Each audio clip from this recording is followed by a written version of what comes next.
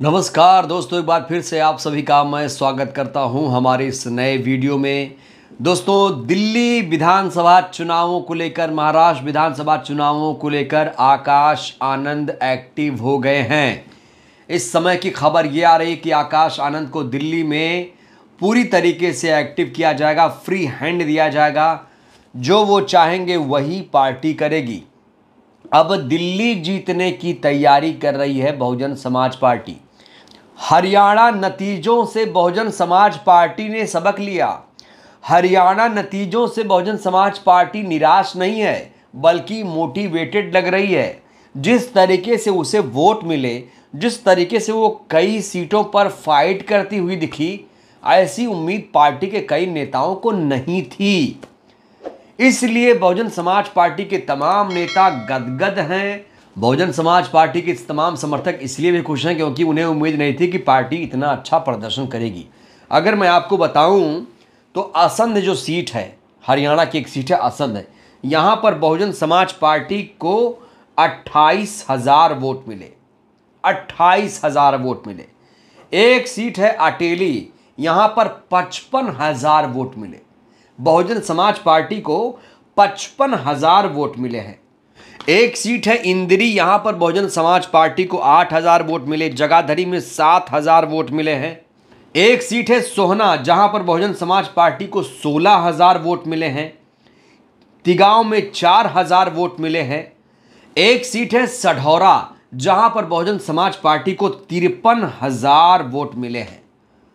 तो जो वोट मिला है बहुजन समाज पार्टी को इन सीटों पर, बहुजन समाज पार्टी के लोग कह रहे हैं, भैया, हम हारे नहीं हार कर भी जीत गए।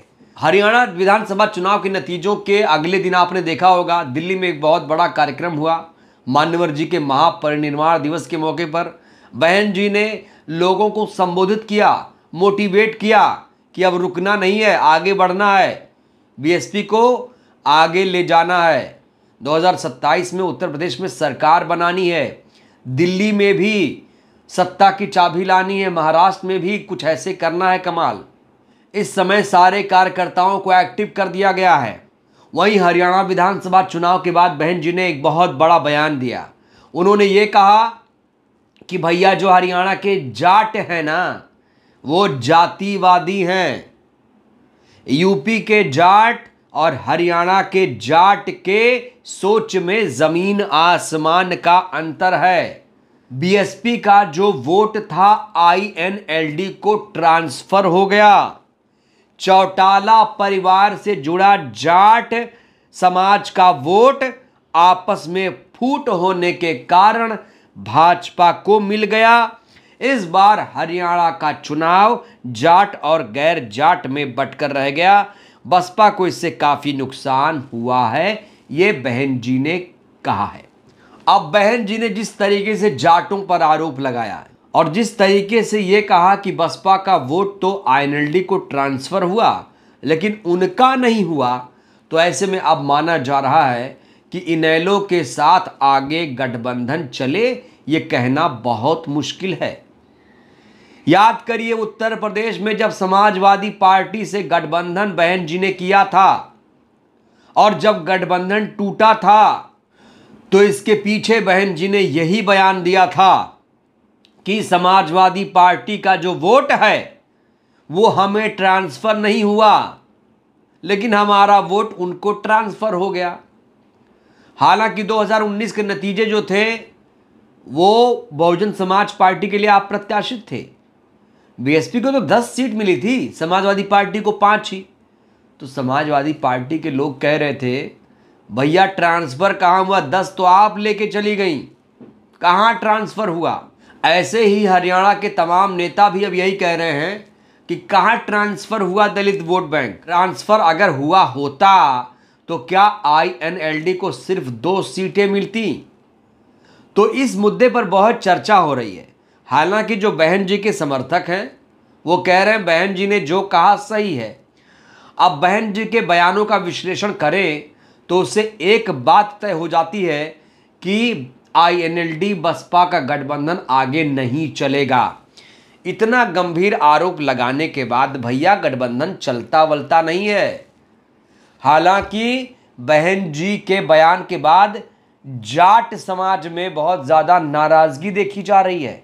और डर यह है कहीं ऐसा ना हो कि उत्तर प्रदेश के जाट भी नाराज़ हो जाएँ। क्योंकि ये ग्राउंड की बात मैं कर रहा हूँ। और जानकार मान रहे हैं कि बहन जी को इस तरह से बयान नहीं देना चाहिए था। लेकिन उनके समर्थक कह रहे हैं, बहन जी ने जो कहा वो सही है, बहन जी जो कह रही हैं सब सही है। जाटों ने जब वोट नहीं दिया तो क्या कहें? खरी खरी ना सुनाएँ तो क्या कहें? तो बहन जी के इस बयान का कोई समर्थन कर रहा है, कोई विरोध कर रहा है? बहरहाल, राजनीतिक विशेषज्ञ यही कह रहे हैं कि भैया, अब ये जो गठबंधन है, टूट जाएगा। आगे इनमें गठबंधन हो, बहुत मुश्किल है कहना। और गठबंधन आगे चले भी तो चले, क्यों? भाई, जब वोट ट्रांसफ़र नहीं हो रहा है तो ऐसी पार्टियों से गठबंधन करने से क्या फ़ायदा? अकेले चुनाव लड़िए, अकेले ही चुनाव लड़िए। अब तो बहुजन समाज पार्टी जो है, सर्वजन बहुजन सबकी बात कर रही है। आपने प्रोग्राम देखा था? 9 अक्टूबर का प्रोग्राम, सतीश चंद्र मिश्रा जी वहाँ पर थे, तमाम नेता मौजूद थे। सतीश चंद्र मिश्रा जी, आनंद कुमार जी, आकाश आनंद जी, बहन कुमारी मायावती जी, सब लोग मौजूद थे। हमने तो मिश्रा जी पर सवाल भी किया कि मिश्रा जी की कितनी उपयोगिता है? तो लोगों ने कहा, मिश्रा जी को इसलिए पार्टी में रखा गया है जिससे ब्राह्मणों का वोट भी पार्टी को मिले। और कई लोग तो ये कह रहे हैं कि भैया मिश्रा जी की वजह से 2007 में हमें फ़ायदा मिला था। दोस्तों आपको याद दिला दूँ कि उत्तर प्रदेश में अब विधानसभा का उपचुनाव होने जा रहा है दस सीटों पर।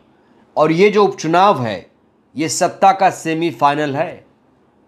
अगर यहाँ हारे तो 2027 में मुश्किल हो जाएगी।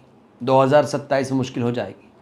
तो अब इन नतीजों से सबक लेते हुए महाराष्ट्र, दिल्ली, उत्तर प्रदेश उपचुनाव, झारखंड में विधानसभा का चुनाव यहाँ पर पार्टी को अच्छा प्रदर्शन करना पड़ेगा। और लोग बड़ी, आज से बड़ी उम्मीदों से बहुजन समाज पार्टी की तरफ़ देख रहे हैं। कई लोगों की हिम्मत जो है, कई लोगों की आखिरी उम्मीद है बहुजन समाज पार्टी। अब बहुजन समाज पार्टी के नेताओं को भी ये ज़िम्मेदारी उठानी पड़ेगी, दिन रात मेहनत करनी पड़ेगी, काम करना पड़ेगा। अगर सत्ता में आना है तो काम भी करना पड़ेगा भैया। काम नहीं करोगे तो फिर एक पार्टी ऐसे बन के रह जाएगी जैसे बहुत सारी पार्टियाँ चल रही हैं। बाबा साहेब मानवर जी की विरासत को आगे बढ़ाना है तो सत्ता में आना पड़ेगा, तभी उनका सपना, उनका ख्वाब पूरा होगा। तो दमदारी मजबूती से चुनाव लड़ना पड़ेगा, भाषण अपनी जगह है, धरातल पर एक्टिव होना अपनी जगह है। तो दोस्तों, कुल मिलाकर हरियाणा में जो बहन जी ने गठबंधन किया था, उसका अनुभव बहुत खट्टा रहा। अब आने वाले विधानसभा चुनाव में वो किसी पार्टी से गठबंधन करेंगी, नहीं करेंगी, आपको क्या लगता है? बसपा को किसी पार्टी से अब गठबंधन करना चाहिए? अपनी प्रतिक्रिया आप लोग ज़रूर दीजिए। बहुत बहुत धन्यवाद। शुक्रिया।